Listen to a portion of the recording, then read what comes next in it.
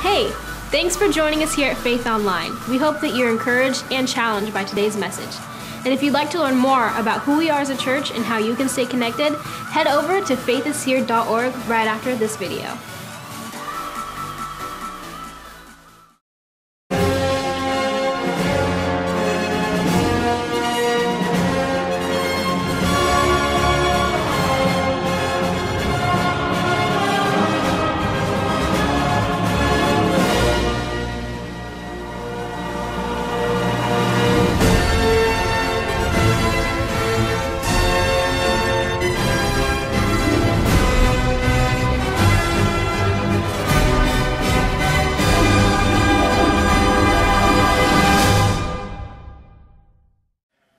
A series at the movies, and I hope you've uh, benefited and grown through this series. Uh, we've been looking at four different popular movies that we have uh, over these last few weeks. I want to tell you that we are not endorsing these movies in any way, uh, so don't, don't take this as an endorsement. We're looking at principles and application, and then we're going to the Word of God and seeing what the greatest story ever has to say about how we live our life. And so today we're looking at the movie Creed and you saw the trailer and you know what's coming up, and it's in, it's in that whole long line of Rocky movies. Uh, so it started a long time ago. Now we're about seven. I think Creed's number seven if you count it as one of the Rocky movies. They don't make movies like Rocky anymore, right? That was a great one. Everybody say it with me Yo, Adrian! Yeah, you got to do it more angst, more uh, feeling. Yo, Adrian! Uh, there you go. Not too bad. Okay, so anyway. Uh, remember, remember in Rocky 1, his very first opponent was a guy by the name of Apollo Creed. And that was the first guy he fought. And Creed is a movie about his son. And so now Rocky's that old and Creed's already gone. And so now his son is coming up and he's the title character in the movie. And in the movie, Creed's son Adonis didn't really know who his father was as a kid. He didn't know who he was at all, but he knew he was born to fight. He said, It's in my blood. I've got to fight. I was born to fight. I was born for this. I was born to be a fighter, and it kind of comes out. I want to tell you something. When we surrender our hearts and lives to the Lord Jesus Christ, the Bible says we are adopted into His family. And because I am in His family, I too am born to fight. I have warrior's blood inside of me. I have the Lord's blood inside of me. And so it's in our blood. Fighting is in our blood, spiritual warfare is in our blood. We, by very virtue of the fact of who our Father is, who's a good, good Father, we know that we also were born to fight. Christ came into the world and he fought with principalities and powers and dominions and the rulers of darkness. Uh, he came and he came for our salvation and he shed his blood on the cross. And when he shed his blood on the cross, the Bible said, It is finished. He was announcing the defeat of the enemy. It is in that moment, according to Scripture, the prophetic word in Genesis chapter 3, he was crushing the serpent's head. He gave his life on Calvary. Now, every single one of us who are followers of our Heavenly Father are fighters. We're fighters. We were born for this time and for this moment. 1 Timothy 6:12 says, "Fight the good fight of faith. Take hold of eternal life." To which you were called when you were made good confession in the presence of many witnesses. Fight the good fight of faith. How does a fighter win the battle? How does it happen? I want to give you three things this morning. If you have your outlines, you can follow along with me today. They should be on the back of your bulletins there. First of all, number one, if we're going to win in this fight that we are called into by virtue of the fact that I'm a child of God, is we got to know who our enemy is. We got to recognize our enemy. Because the enemy wants to take you out, he wants to destroy you.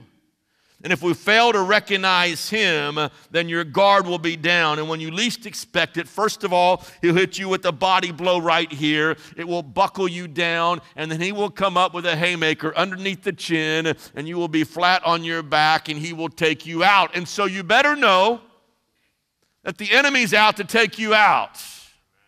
He doesn't like you, he hates you, he wants to destroy you in any way he can. The devil is a powerful adversary.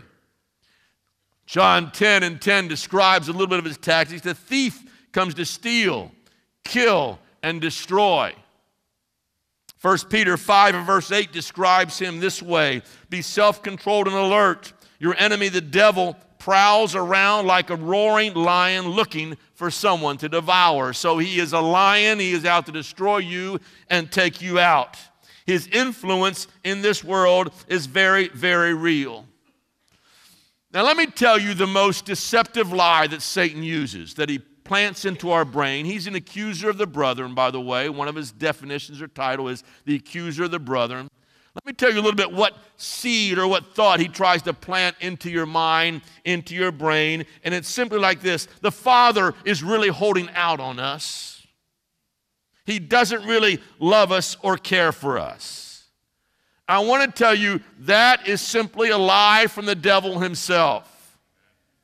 It's the same thing that, that, that Satan suggested to Eve. And so you go all the way back to the very first temptation in the Garden of Eden, and Satan is there, and Eve is in the garden, and he basically says, You know what? If God really loved you, why won't he let you eat from all the trees? Why keep a tree back? Why withhold anything from you? If, if he really, really cared about you, if he really, really loved you, then you should be able to eat of every single tree in the garden. Why does he keep you in the dark? Because he says, In the day you eat of that tree, you will be like God. And so the temptation is to question the love of God ultimately. Satan tempted Jesus in the same way. Remember when, and, and when he was on that Mount of Temptation and the enemy comes and he attacks them with three very specific temptations that deal with the lust of the flesh, the lust of the eyes, and the pride of life? Remember, remember the, the subtle temptation that is there when he's hungry? He's been fasting for 40 days and 40 nights. And, and so he basically says, Why are you so hungry, Jesus? If God really loved you, He wouldn't put you through all this. In fact, you could just speak the word and turn this rock into a loaf of bread. If God really loved you, He wouldn't keep you hungry like you are now. And Jesus responds by this statement, and I want you to get this. He says, Man does not live by bread alone. In other words, since God is good, we don't need anything else but God. And if we'll get that through our minds and through our understanding that God is a good, good Father, He's a good, good God. We sang about it in a couple of different songs. He's our Father, and He is good, and He is always good. And if He's always good, He is really all I ever need. God's good. He completely satisfies with God. I don't need anything else. But here's the lie. Once I start to believe or doubt the goodness of God, I become attracted by Satan's offers.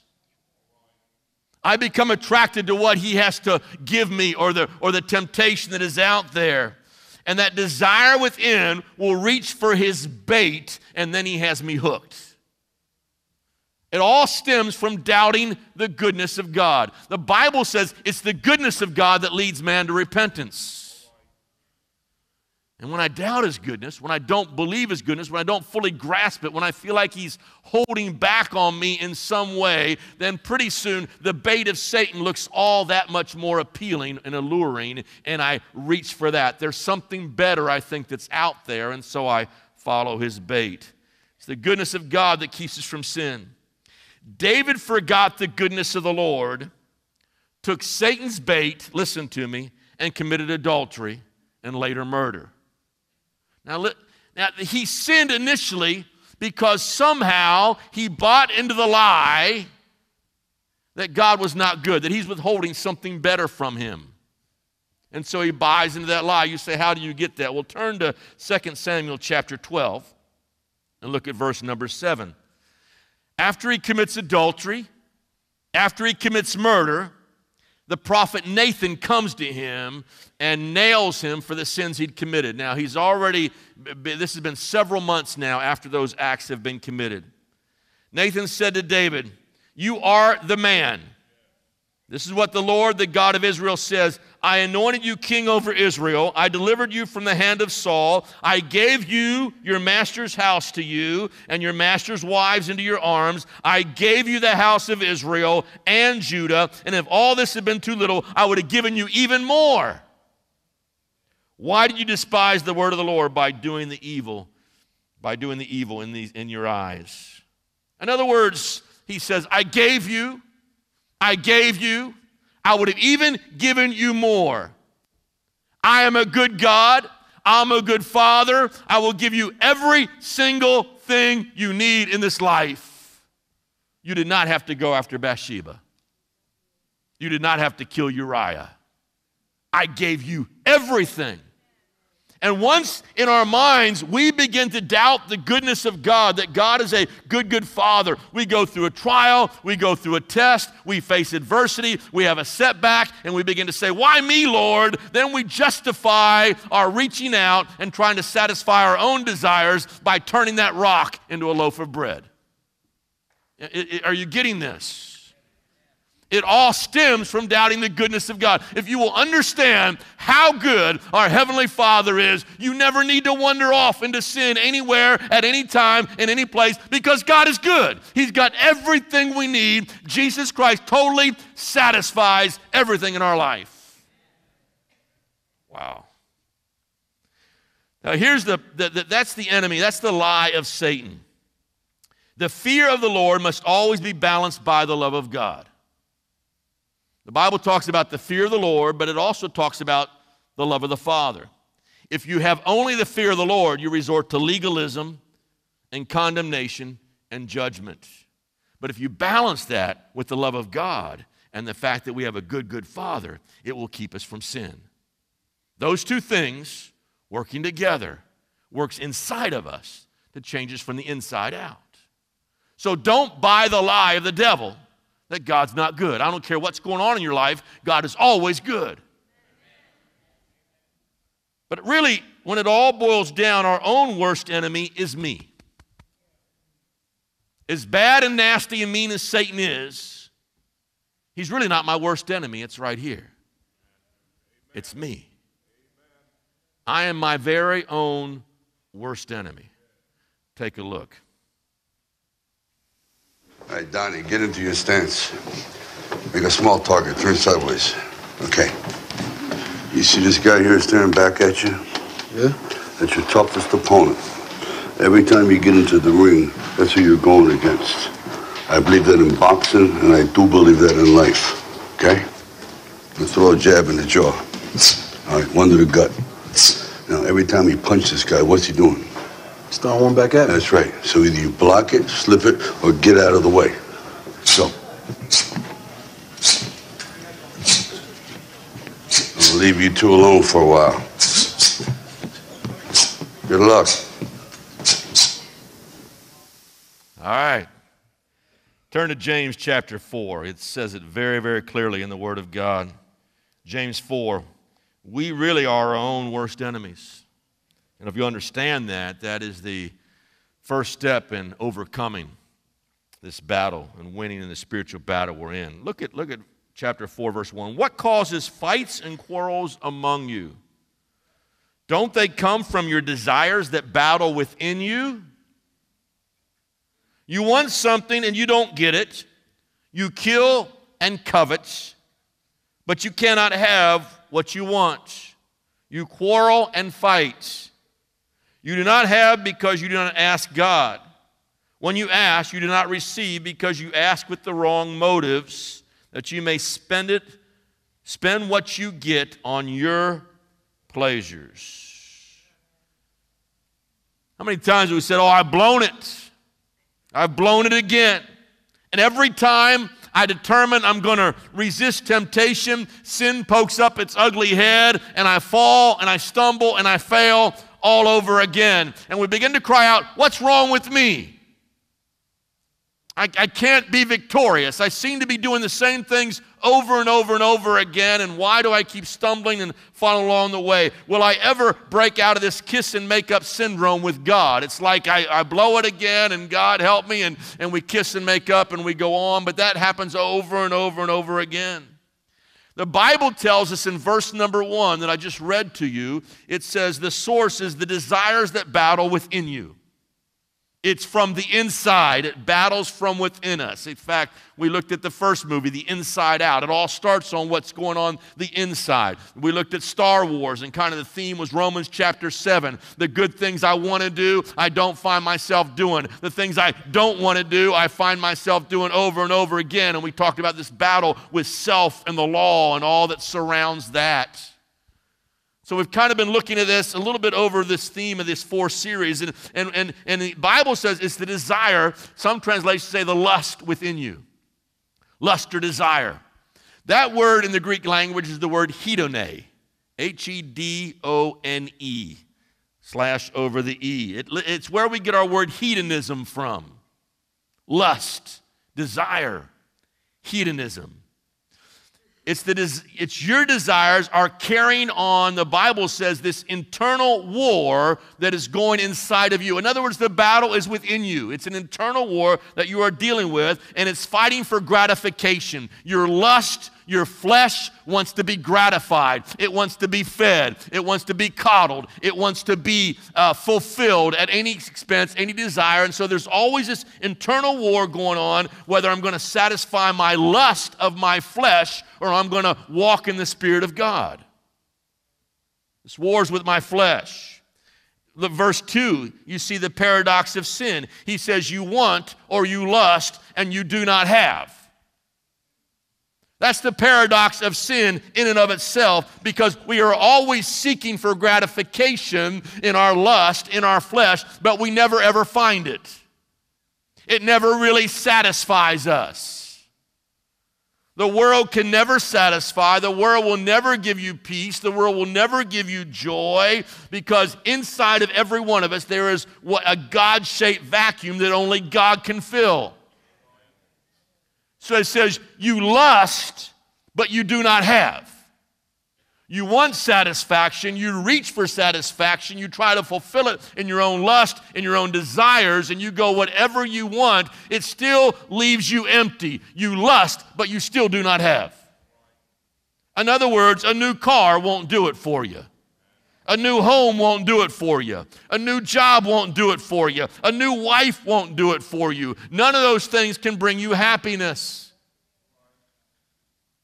An old rocker once said, and he's very old now, I can't get no satisfaction. And I try and I try and I try and I try. I just can't get no satisfaction.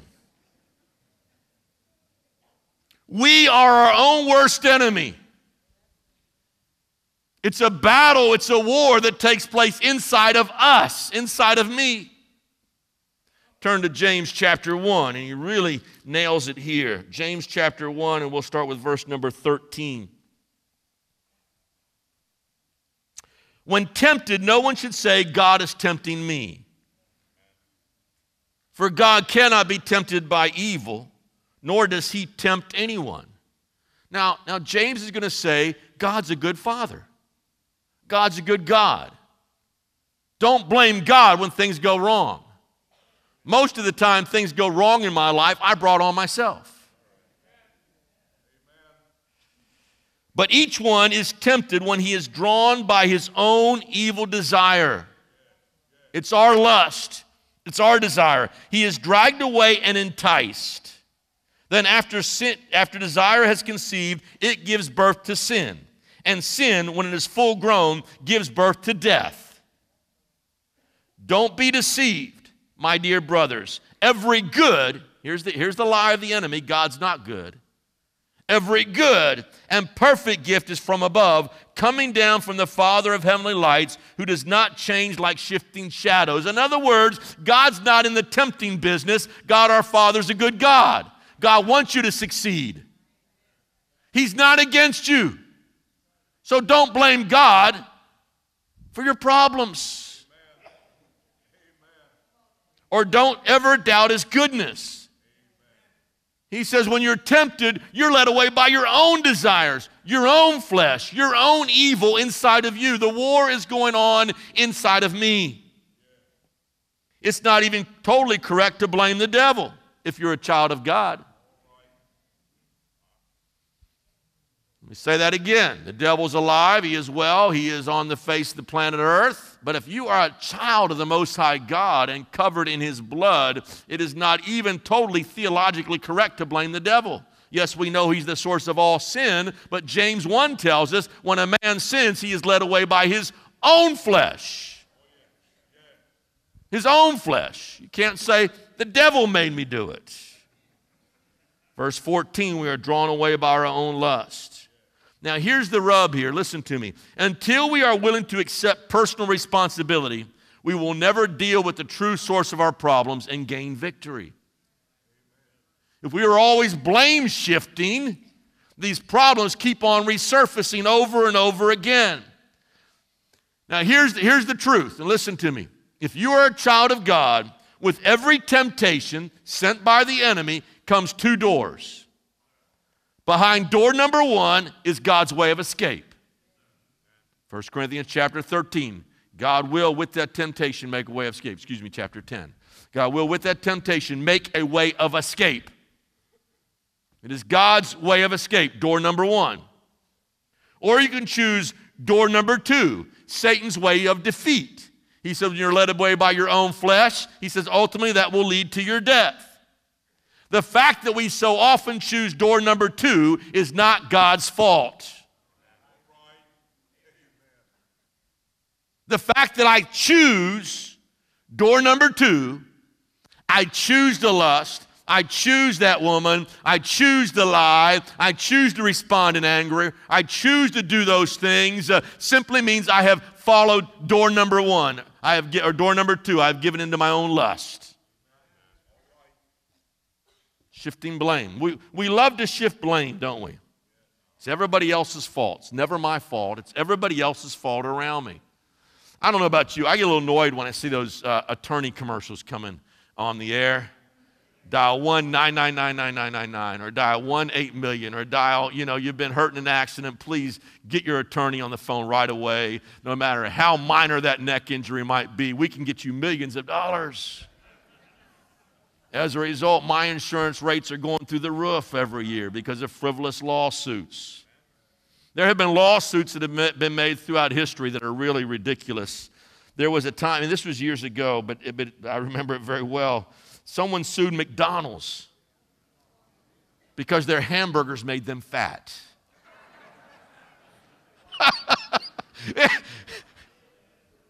yeah, it probably did, but you didn't have to eat there. Don't sue the hamburger manufacturer. There, there was a time when tobacco industry came under many lawsuits because it was discovered that caused cancer and they died. Now, we've been told that tobacco will cause cancer and it will kill you. We've been told that for years, and yet we keep on smoking and, and then we want to come back and blame the cigarettes. Drunk driver kills somebody on the road. So they sue Jim Beam or Budweiser or somebody else because that made me drunk and that's why I killed somebody. And so let's go after the big company with the big pockets. Now, I'm not, I, I, wouldn't mind seeing those companies close down, but, but I'm telling you, it's not right. We're led away by our own lust. You chose that door, door number two, instead of God's way of escape. A lot of blaming going on. We blame mom and dad for every negative action I do today. It's my mom's fault, it's my dad's fault My dad wasn't really nice and I mad I'm angry today. Well, you have a new father. Got a new daddy. You got a new papa who's a good, good God. We blame our children for our impatience. You're getting on my nerves. Now, I, I got to tell you, I got to be honest here.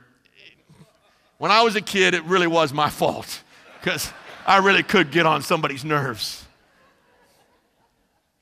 We blame our husband or wife for my anger. Their fault. They're pushing all my buttons. We blame our, our wife for my adultery because she wasn't meeting my needs or my desire for pornography or whatever else because there's no intimacy in my marriage. So it's all my wife's fault that I'm looking at these girly pictures.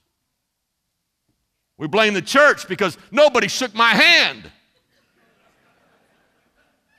It's all the church's fault I'm not there today. Somebody hurt my little feelings. You see, it's easier to blame than accept responsibility for our actions. James tells us don't deceive yourself. God's not tempting you, number one, because God's a good God. He says, when you're led away, you're led away by your own lust, your own flesh, your own desires, and you still don't have. Blame shifting is as old as mankind. It goes back to Adam. What's Adam say? The wife you gave me. She made me do it. She made me eat that apple. Whatever fruit it was. I said apple. I don't know. Uh, and, and blames Eve directly, but you know what? He's indirectly blaming God. Now, listen to me. The wife you gave me, it's, it's your mate selection that went awry here. It's not really the woman I wanted, but I stuck with Eve, and so we're here. There's no other woman to choose from. She's the only one. Lord, you could have done better. The wife you gave me. So there's a, there's a secondary blame right there on God. And then the woman blames the serpent. The devil made me do it. Right? And ever since, we've been blaming somebody else for our own lust. If we are going to be victorious and move into a realm of spiritual victory in our life, we've got to quit blaming everybody else and understand I need help from God, and it's me, O oh Lord, in need of repentance, in need of change, in need of transformation, in need of help. And then we put ourselves in a position where God can start working on us from the inside out. Now, in order to overcome these enemies, both the devil and our own flesh, the second thing is a fighter must be disciplined. A fighter must be disciplined. Turn, if you would, to 1 Corinthians chapter 9. 1 Corinthians chapter 9, and look at verse number 9.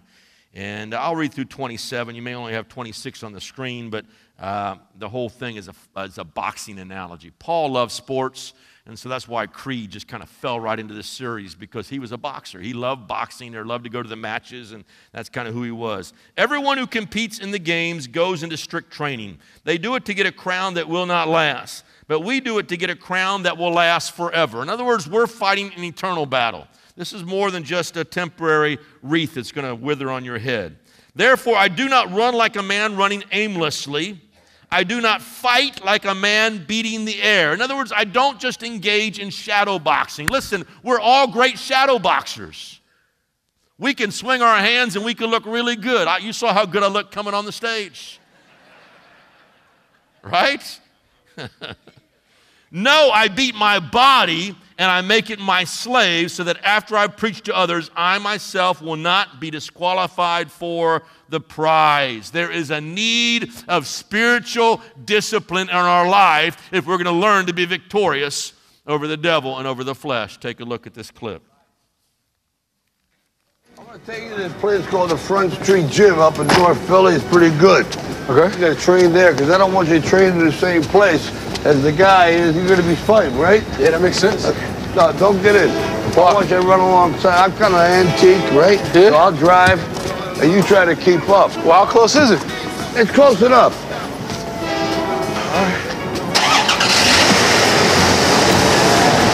Hey, let me warm up real quick.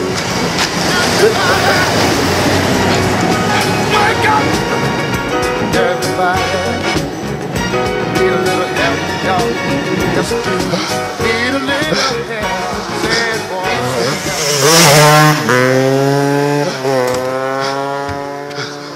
made it.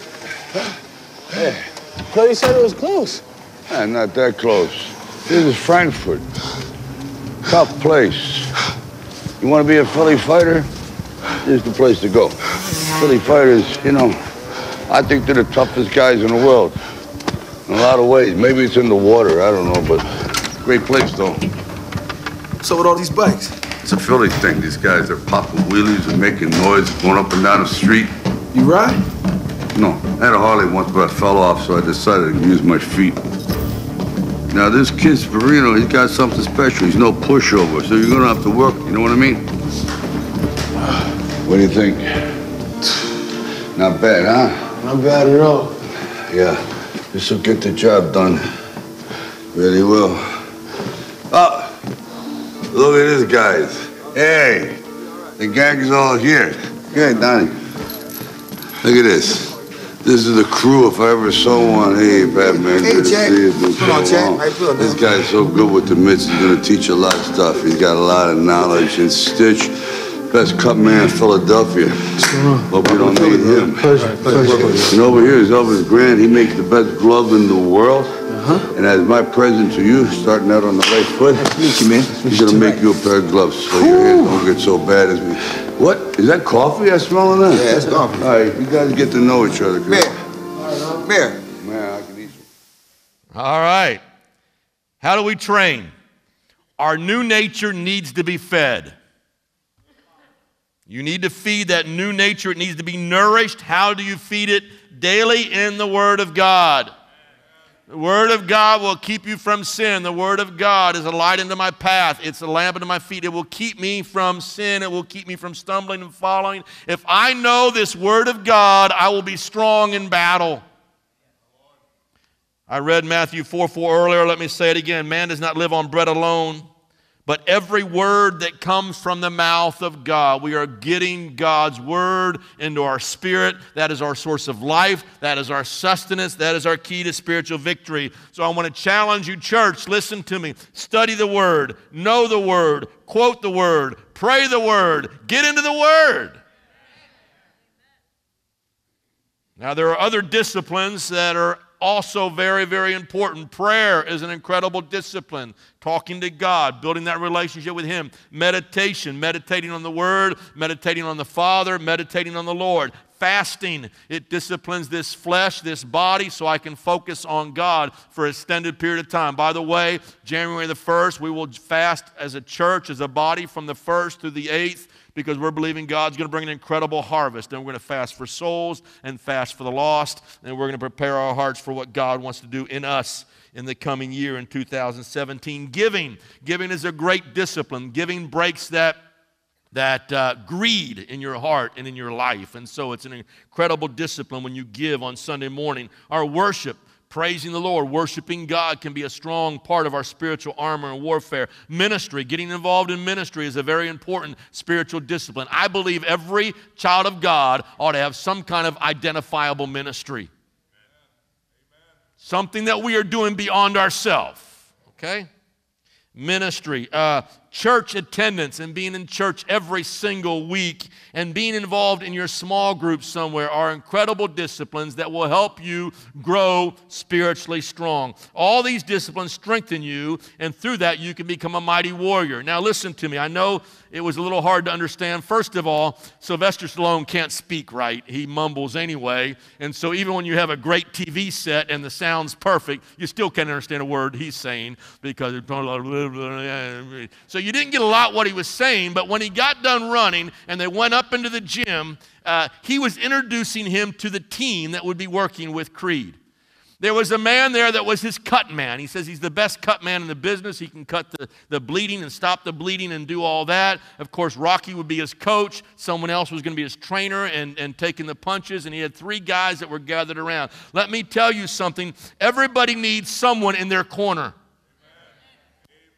You're going to win and fight in the fight and win the spiritual battle. You can't do it on your own by yourself. You need your cut man because we're going to get cut out there in the world and we need someone to come along and fix us and help us and work through that with us. We need someone to train us spiritually and get our punches right and take the punches for us. We need someone to, to box against and spar with. We need someone that will be in our corner encouraging us. And you'll see in the fight scene coming up, you'll see Rocky's right there encouraging them and helping them through because he's got to win that fight and win that battle. I want to tell you, our life groups are so, so important.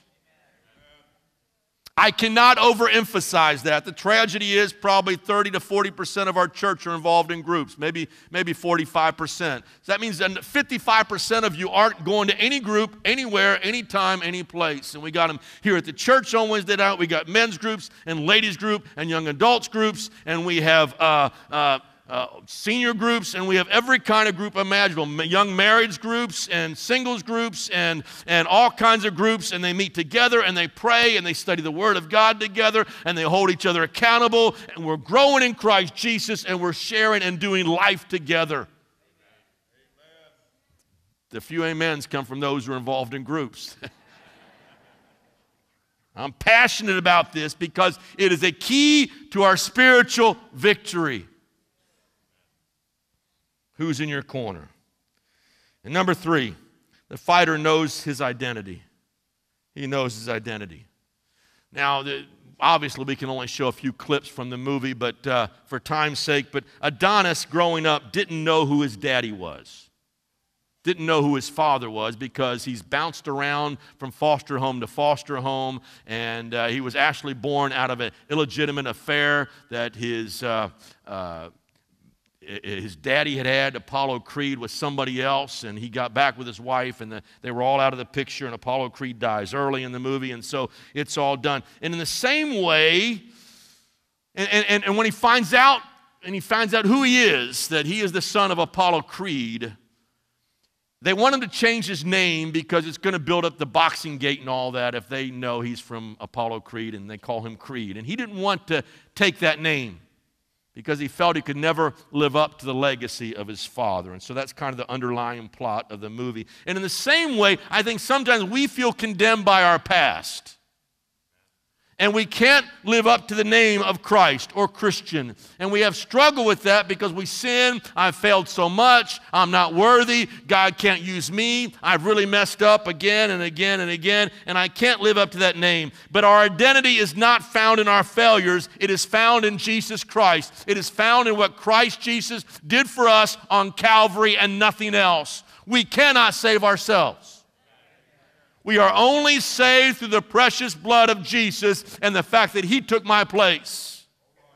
So our identity as people is all tied up in who He is. So I have a good, good Father, and I know who He is. And because I know who He is, then I know who I am in Christ Jesus. If we understand our victories in Christ, He's already won. He's already won. So I don't allow my failures to define who I am and we won't be ashamed of our identity as a child of God. Take a look at this last clip. To the body, trading shots. Pawing with his jab, Creed looks to land one big shot.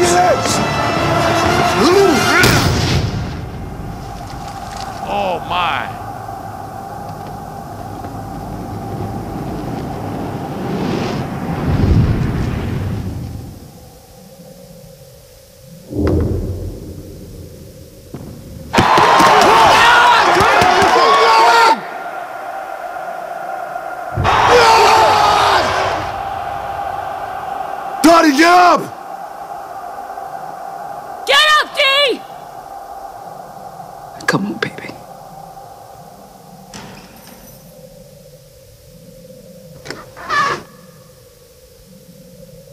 That's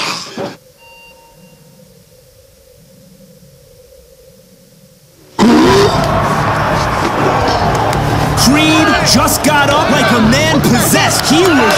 Down but not out. Conlan thinks he's celebrating a knockout. He's getting out! But the referee is dusting Creed's gloves. Creed beats the count, and the action begins again. That's the heart of a champion. He has his daddy's heart, I'll tell you that much. Daddy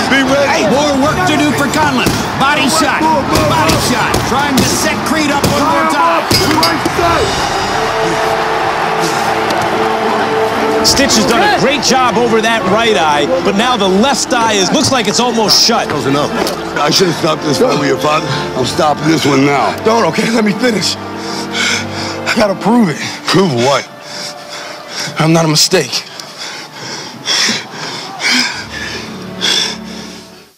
Whoa! I won't tell you how it ends. You'll have to watch it yourself later. You're not a mistake. You're loved by your Father. You're your Father's son. You're your Father's daughter. You are loved by Him. And it's when he had that vision, that last, I don't know if you saw those clips as he's on the ground. It, it, uh, it was only supposed to be like eight seconds, but whatever, he has all these flashes going through his brain. And the last flash he had of his daddy, Apollo Creed, fighting in that earlier match in Rocky number one. And then he jumps up and he's going to continue the fight. Listen, if we're going to be victorious, we've got to understand who our daddy is and who we are in Christ Jesus. Turn to 2 Timothy chapter 4. I'm going to close with this thought. Romans 8 1 says, There's therefore now no condemnation to those who are in Christ Jesus. You are not a mistake. You are not condemned because you are in Christ. But I want to read this to you 2 Timothy 4, another great fight scripture. It says in verse number 7 I have fought the good fight of faith, I have finished the race, I have kept the faith. Now there is in store for me a crown of righteousness, which the Lord, the righteous judge, will award to me on that day, and not only to me, but to all who have longed for his appearing. Paul's writing Timothy in this passage. He's writing from a Roman prison. His body's weak. He's been beaten many times. He's been shipwrecked. He, he talks about all that he went through in his lifetime. And death is going to come very shortly. And so this is the last letter the Apostle Paul will ever write is Second Timothy. And he's writing to his son in the faith. And when the Romans are going to come in, his death is going to be brutal. It's going to be fast. They're going to take off his head with one blow of the sword. But in the face of imminent death, he leaves this incredible testimony I fought the good fight of faith. I've been in the ring. I've fought principalities and powers and rulers of darkness. I've been fighting for the souls of men. I've been fighting for every new church that's been planted. I've been fighting for the churches. I've been fighting for souls, and I've done the very best I can. I fought the good fight of faith. Now, I want to ask you a question What is your legacy going to be? When you come to the end of your journey on the earth, what are you going to be able to say? What is your, this is his epitaph. This is, is what's going to go on his tombstone. I fought the good fight of faith. I've run the race. I've kept the faith. I've finished strong. What's going to be said about us? How are you finishing? When we know our identity in Christ Jesus, we got fight in our blood. It's in our blood. We're fighters. In our blood because I am a child of the Lord Jesus Christ. And yes, you will get knocked down. Rocky got knocked down. Creed got knocked down. We all get knocked down. Everybody does. But we will get back up because I have the Lord Jesus Christ. And I'm not going to stop and I'm not going to quit. I'm not going to give up because he says there's a championship prize, a crown of everlasting life that is waiting for me. What's your legacy going to be?